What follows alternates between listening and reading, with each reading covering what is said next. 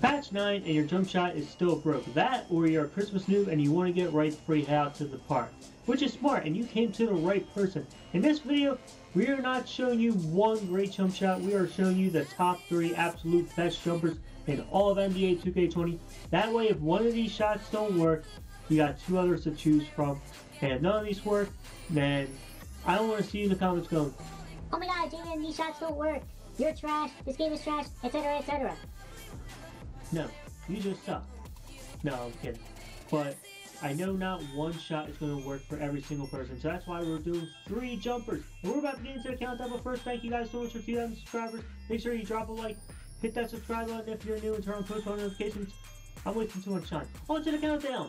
Number three, Steph Curry. Coming in at number three, we got Steph Curry. So, for those that have been here since my return, this is from my very first video. This was my first jump shot from the beginning, and this is still a great jump shot. Do you guys like Steezo? I know some of you like Steezo. This is the shot Steezo currently uses, and the best part is you do not need Jump Shot Creator. I mean, you can if you want to, it's up to you, but you don't need it. And you can make whites of this, greens of this. Also, Steph Curry's pull-up is the best pull-up. So you got the best jump shot, the best three jump shots, and you got the best pull-up. Two for one, two birds, one stone. Give me my like and subscribe. On to the next shot. Number two. Coming in at number two, we got Jump Shot 98.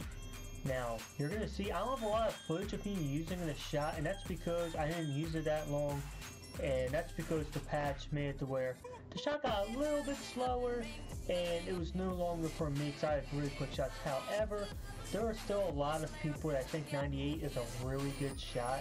Just because me and G-Man don't like it, doesn't mean you can't put it on, and you never know, you might be a god with it. So put it on, try it out, let me know if it works. And worst case scenario, it doesn't, and you got Steph Curry in the number one entry. Spoiler alert, it's the jump shot I currently use. Number one. Dwyane Wade! We're gonna ignore the fact I used the same Dwyane Wade introduction for my patch 8 video. Yes, this was the best jump shot after patch 8, my patch 8 video, and it's still the best jump shot now after patch 9. Try it out. If you don't believe me, there's two other shots. It's the perfect speed, not too fast, not too slow. It greens a lot, white's going a lot.